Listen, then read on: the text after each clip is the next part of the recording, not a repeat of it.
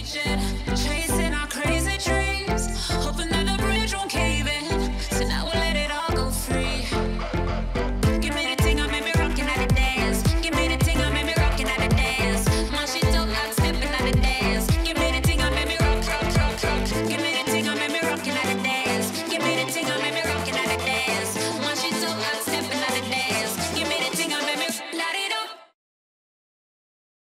Welcome to our third daily dance dialogue.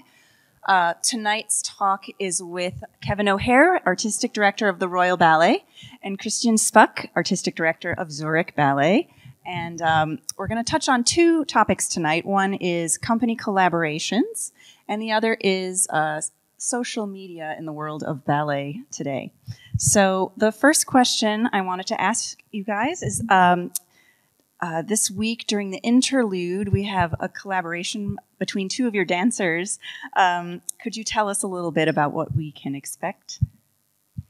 Well, I'll start. Yeah, it was just an idea that came up, and we thought we're both on the jury, and we know each other well. And and uh, Lauren, there was the idea of Lauren coming to to dance here. She's uh, she was not involved in Woolf Works because uh, she was injured at the time of its creation. She would have been in it, and so it's just had its first revival. So she's not uh, needed at the Opera House because we've got two shows on Saturday actually. Um, and then we're thinking what we could do, and uh, we suddenly thought about something of Christians, and then also Alex Jones, um, who was at the Royal Ballet School, and then went to Stuttgart, and then has joined uh, Zurich. So we thought that's a nice combination. And uh, Lauren was dying to do Christian's pas de deux.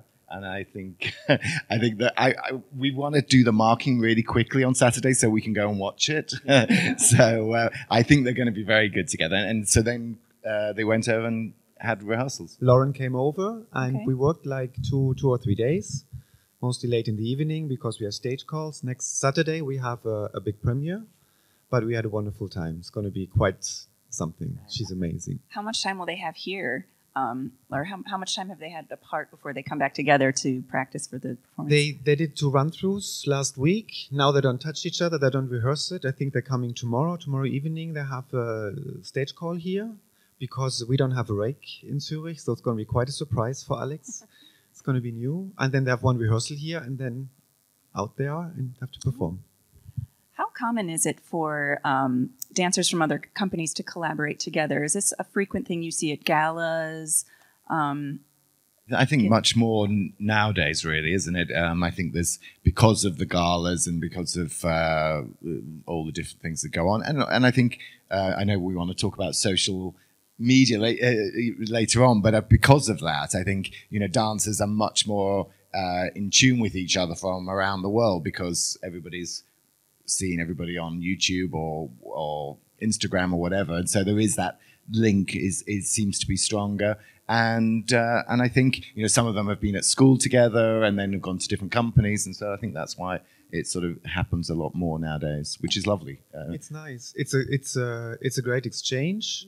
Also, we try sometimes to invite guests because it's inspiring for the dancers. They see what's going on. There are new impulses. How can something be performed?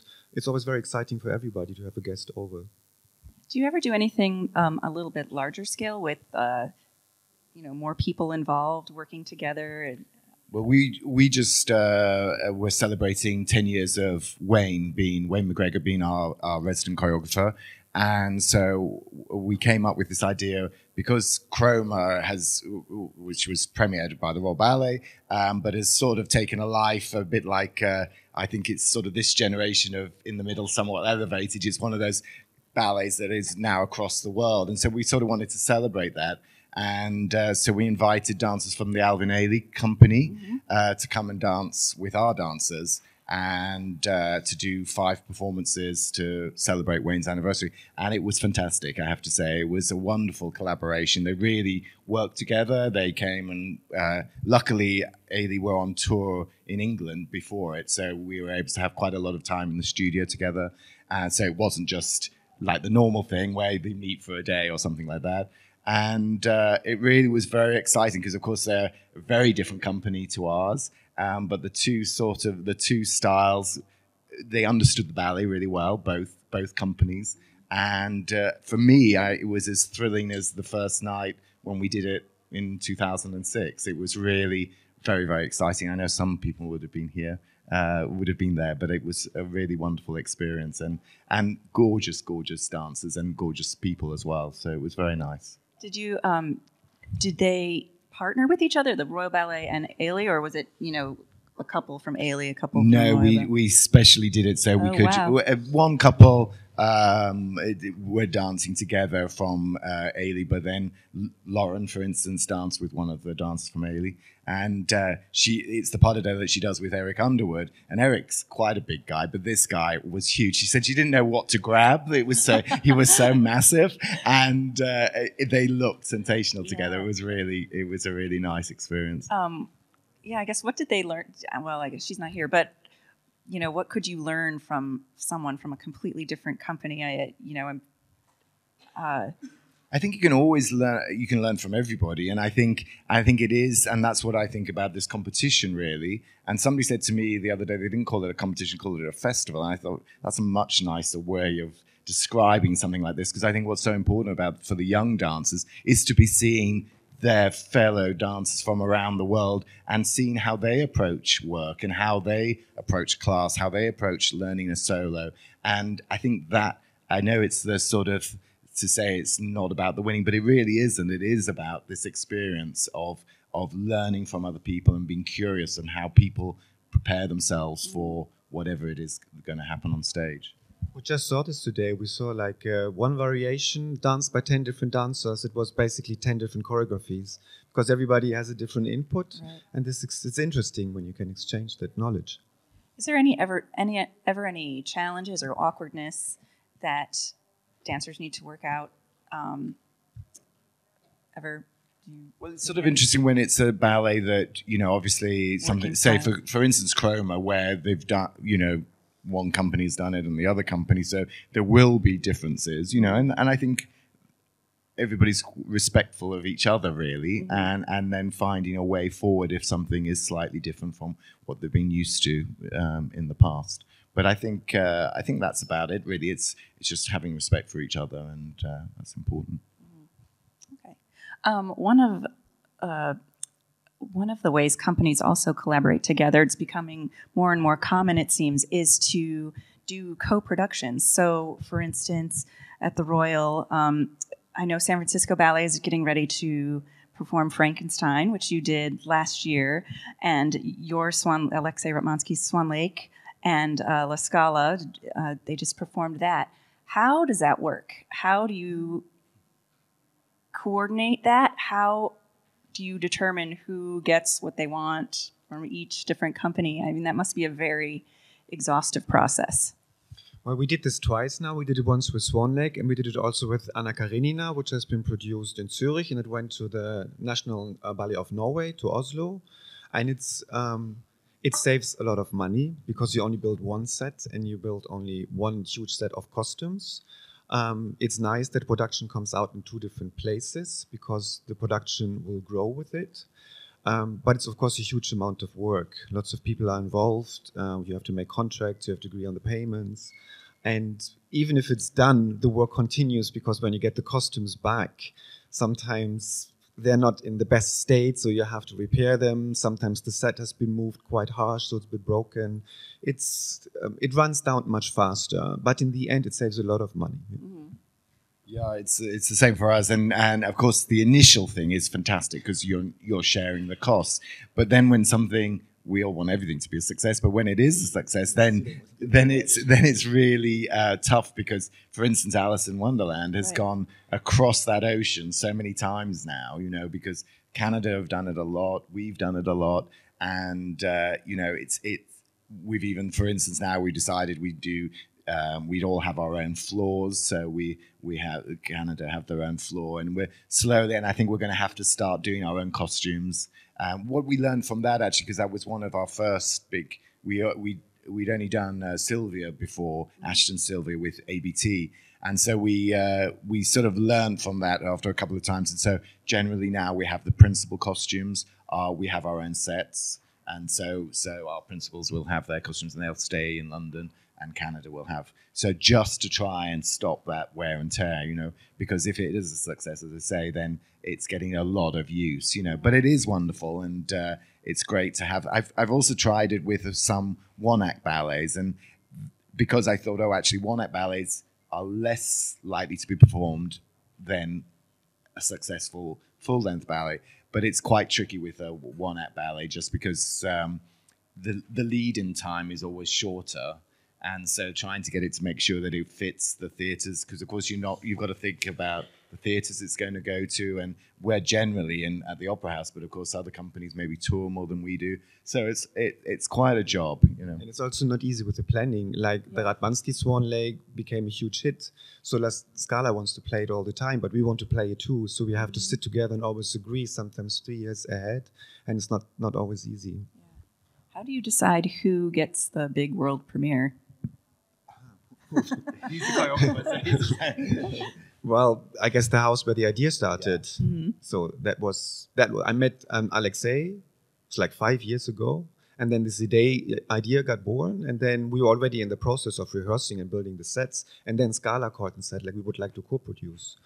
And then uh, the the guy who was responsible for the money got really excited, and all the workshops went like, "Oh no, no," because all the costumes have to be redone most of the time, especially the the costumes for the swans, because they're very delicate and uh, it's not easy.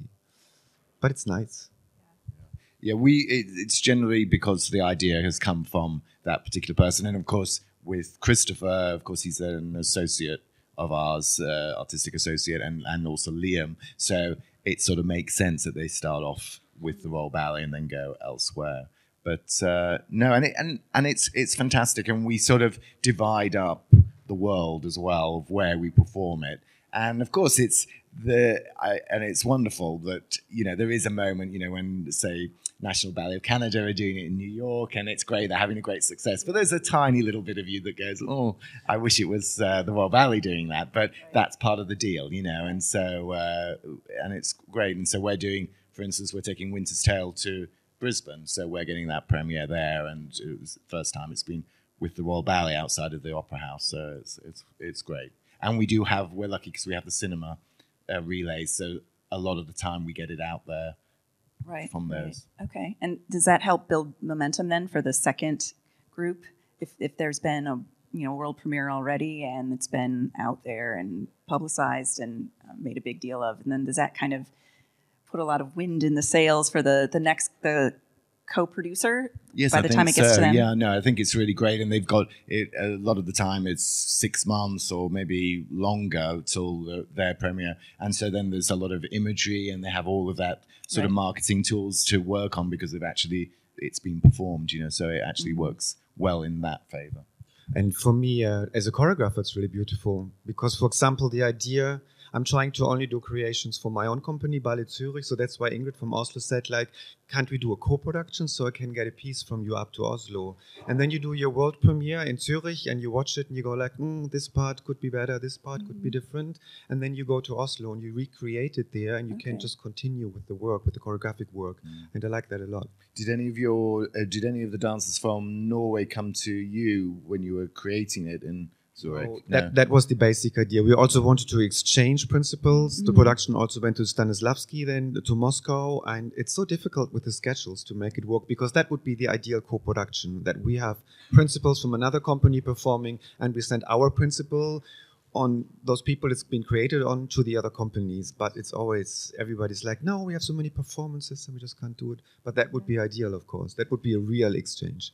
We did actually manage it with Frankenstein that some of the dancers came over from San Francisco. So they were in the studio while the pas de deux were being created and um, in that process, which was a really nice thing to, to happen, you know. Do you think this is um, this is sort of the way of the future with ballet companies and big full length ballets? Uh, is it like you said What- before? It saves so much money and it's it's it's It's also a loss because uh, you can tour less. Because if it's running, if Anna Karenina is running now in Moscow for the next three years, probably Moscow's not going to invite Ballet Zurich to perform Anna Karenina in Moscow, and my dancers are not happy about that. Right. So when you send the production out into the world, it means you will tour a little bit less. Maybe not for such a big company as you, but we are quite a small company. So the more your your work is going out, or the pieces which are your trademarks, the less you will go on tour. No, I think it's same for us. You know, now uh, with Alice in Wonderland, for instance, now it's out of its exclusive period now, and so sh- Alice has gone global. You know, she's Yeah, everywhere. You know, so many companies are doing it. So then, of course, you know, wherever it is, Russia or, or Australia or wherever, they they've got their own version. They don't need the Royal Ballet to come and do it. So so it has its pros and cons. You know. How long is that? How long is that period of sort of exclusivity? it, it depends on each uh, on the choreographer and the and the contract yeah so with everyone it changes you know Okay. Um, well, on that note, I thought I would switch gears and we would talk about social media. Um, uh, in your opinion, how has social media changed the landscape of dance?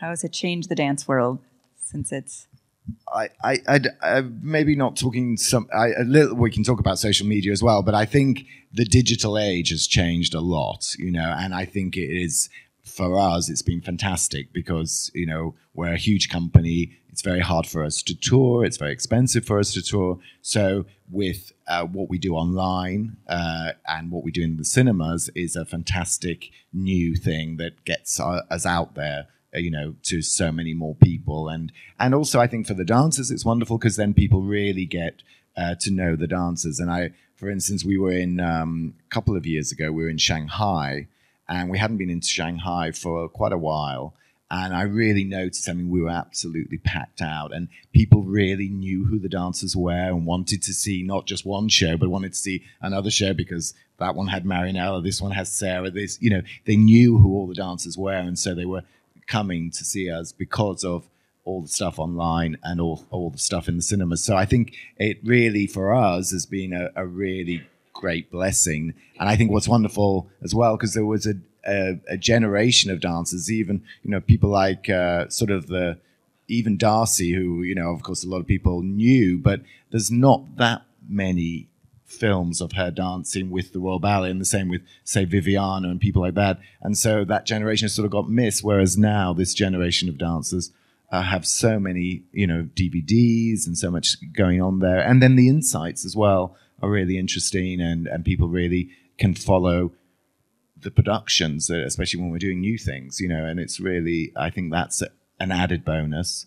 And then things like uh, the the Ballet World Day, World Ballet Day, which we sort of Oh, right. Just made up. You know, why- we did a, uh Royal Ballet Live, and that went well. And then uh, we, I was talking with David McAllister, and we said, "Oh, why don't we do, do something together?" And then it got bigger, and we just said, "Okay, let's call it World Ballet Day." And now it's a thing, you know. And it's every every October we do this, and now more and more companies are involved. And so that really broadens again this idea of um, you know all the dancers knowing each other and and knowing what the companies are all doing. And I think it's wonderful. When I was uh, a, student, it was very small. I didn't know what was going on in in Europe even. Now the students at the Royal Ballet School know so much about what else is out there, you know, and I think that's a really positive thing. Yeah, I appreciate also the big exchange between the dancers, between the arts, between the companies, but it has also some some negative sides, especially when you're a choreographer. Right. like we had a huge production coming up now uh, called Requiem, which was with the whole choir and singers. We had a special place to uh, to rehearse it. It got broadcasted from the TV. There were contracts, and on the on the fifth day of the rehearsals, I saw full scenes already, like filmed secretly from the dancers on Facebook, and and that is on YouTube. And what is once in the internet is very difficult to get out Yeah. of there, and there are no rules. So mm-hmm. that means we in the house have to be very strict what kind of pictures we give out because you can just copy them from the screen and you can send them everywhere. So there's a little bit of control when you're an artist, and sometimes it's pretty painful what you see online there. It's not the nicest. Um, but in general, I really appreciate the, the communication which is happening, which is very positive. Even though sometimes this communication can be also very funny. If a dancer, it happened only once, and not in my company, a dancer was apparently sick, and the same day he sent like a Facebook message, having a wonderful time in Madrid. So that's that's the good side from Facebook. You can check it out. Is he really sick or is he having a party somewhere? Um, that was actually one of my questions for you was about copyrighted material, um, and I think it's you know uh, we have a lot of young dancers here who may not kind of understand the rules about what's okay and what's not okay in terms of photos and video. Well, you actually you cannot put anything out because the photographer has the rights on his picture. That means we, as the company, we pay the photographer, and therefore the company is allowed to present those pictures. And sometimes the photographers are kind and they say, yes, the dancer can also post them, but actually they should pay the photographer in order to send those pictures out because the photographer is losing his job. He's doing his work and suddenly his pictures go everywhere. But nobody cares about this rule. It's like, Yeah. it's, yeah. So if you see a nice picture and you, I'm going to screenshot that, and Yes, put that on exactly. Instagram. And it goes out, yeah. it's not really, Which is nice because the nice pictures then out in the whole Right. world. But um, yeah, You know, you, have to be careful. Yeah. Is there anything they should do? Should they credit the photographers? I think the- yes. I think the moment you put a picture out and if you write the name under it from the photographer, I think then it's never a problem. And I think that's very nice because it's it's art what the photographer is doing. He should be credited for it. This and then uh, it should be okay. Okay. Um, from an artistic director's perspective, what should dancers be aware of? In addition to that, what should they be aware of when managing their accounts? Do you have house rules in your companies about how to use social media? Like, you know, please don't uh, take backstage photos at the Royal Ballet, and it's in their contract. I know some companies have. Yeah, we do. things. Ha- we do have uh, sort of uh, rules, uh, you know, within the contract. What should be, what is allowed, what isn't allowed. Um, but of course, it's so fluid, and uh, it changes all the time. And uh, and I think some people. Uh, some people love it, and you know they're posting all the time, and they're and they're building their profile, and so I think that in some ways that's not a bad thing. But I think uh, you know I- some people can get um, sort of go can say to me, "Oh, have you seen what so and so's doing on Instagram?" You know, and uh, and they would say, "Oh, you know, Anthony Dowell would never have done that." And uh, and then I come back and say, well, no, but Rudolf Nureyev probably would have, you know. And I think that's different personalities do different things, you know. And I think um, I, I was speaking to somebody from uh, Channel 4, one of our television channels, and he was talking about social media. And he said he always says to his people, just don't be an idiot. And, uh, and I think eh, before you post something, just think, is somebody going to say, what an idiot, you know? Right. And I think it's just to have that in your mind, you know. And as, as Christian's saying, you know, with everything, it's it's there for life, and you never know, you know, what might happen to you, and suddenly this picture is a representation of you, you know. And so I just think you just be careful. I agree. Uh, we, we don't we don't we don't have any rules, but what's out there is out there, and it makes your image. And especially young dancers, they put sometimes stuff out where they think it's funny, but Right. later they regret it, and you just it's very difficult to get it off the internet again. Okay. Okay. Um, do you ever use social media as a recruiting tool? Do you ever sort of look like scout for dancers? Uh, maybe not intentionally, but you know, if you see something, No, I'm afraid I don't have time to. you know, people always say, "No, have you seen this person on YouTube or that Right. person or that?" You know, and you, literally, you don't have time to start going around. You know, I've seen those Chinese people that do it on the head. You Oh, know, right, yeah. I've seen that, uh, but that, but I'm not planning on recruiting them for the Royal Ballet. But, uh, but no, generally, I think uh, we've got. You know, there's nothing better than seeing the person in the do. flesh. Right. Yeah. No, I don't do this either. But what's really helpful comparing to when I was auditioning, you had to send like videotapes, Right, like really right. plastic things, and now you just send a link or you send like a YouTube address, and then you can present yourself. This, of course, is amazing. because you can really look very quick through a lot of dancers and they can really present themselves that like they would like to be presented. So this is a big plus for sure. How much does it matter if if a dancer who is applying for a job with you has you know three hundred thousand followers or something? Does that? I mean, do you care or is it about what's in the link? Well, I always invite the dancers to come to Zurich, even if they apply. Mm-hmm. and If I see them on the on the videos and they look amazing, and I have seen them somewhere in the performance, I always invite them first. I need to feel them. They should feel me. We should see if the chemistry is working. I really would like that they have they see the the, the place once. Um, sometimes when we have a lot of time and I can talk to the dancer before, then it's easier. They don't have to come to Zurich before because I had a little meeting with them. But I would never hire a dancer I've only seen on YouTube. Never. I have to see them live and I need to talk to them. Not only for my good, also for their good, of Right. course. Yeah, I have. I'm lucky. You know, the school is just across the the Right. bridge, and so I. That's the way I do it. You know, I'm just there watching as much as possible.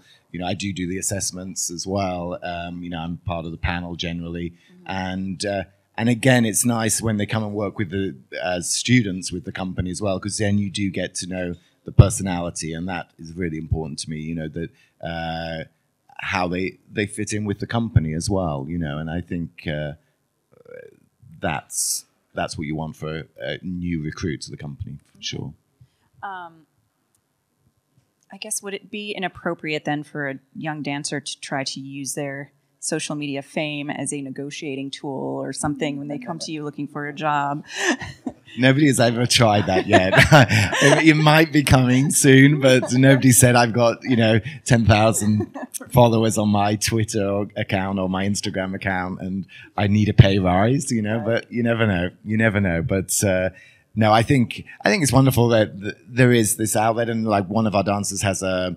She started a sort of uh, clothing thing, you know, to do with ballet clothes, and so they're they're quite they're very enterprising with that sort of thing and do it, you know, and so I think that's great, you know, and uh, and anything to widen, you know, thinking of the future as well when the dancing career is over, you know, that's also important.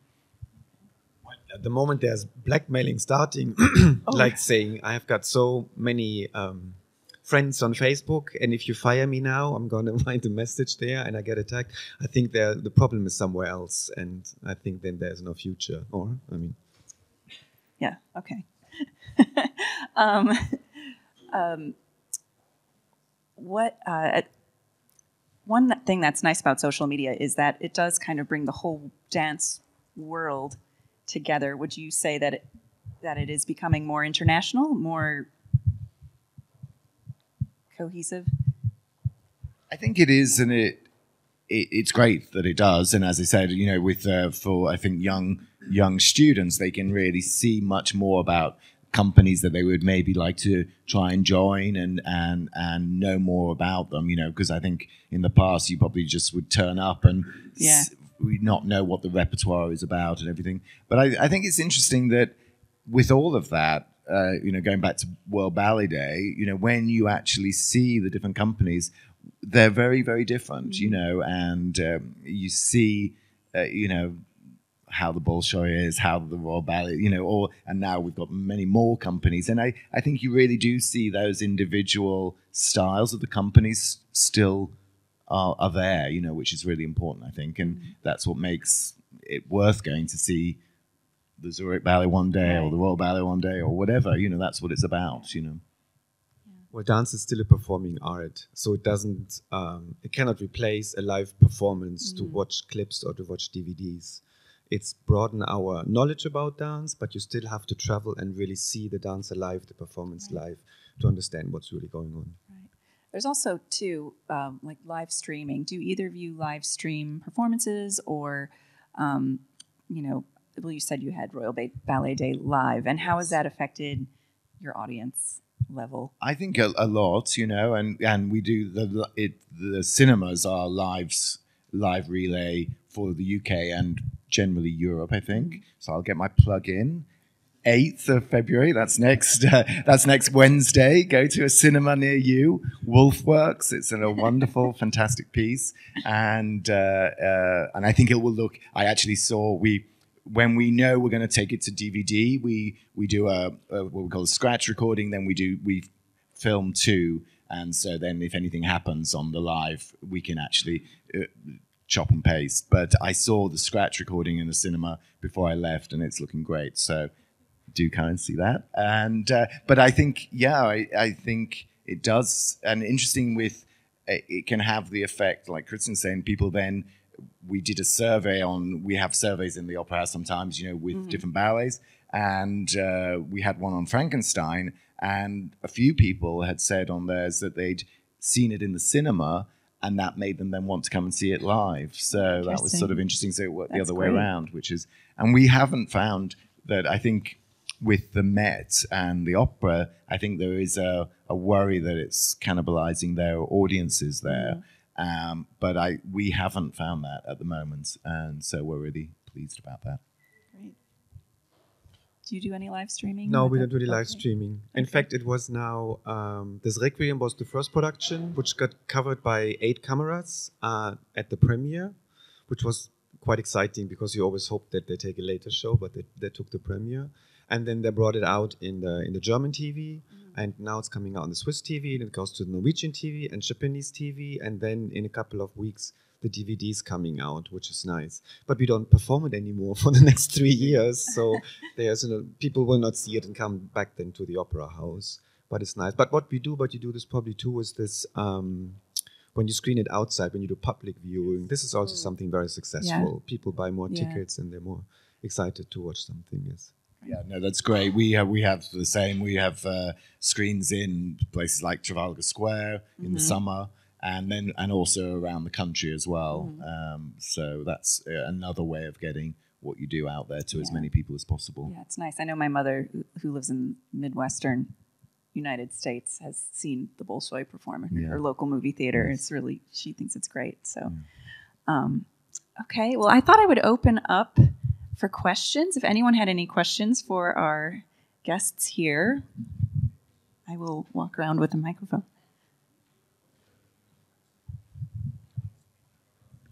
It's not really a question. It's just to say that I'm a, um, a fan of these uh, live screenings, they, mainly because they, when they come from the opera house, the two intervals are a half an hour, and you get little interviews, little snippets. You meet people in that.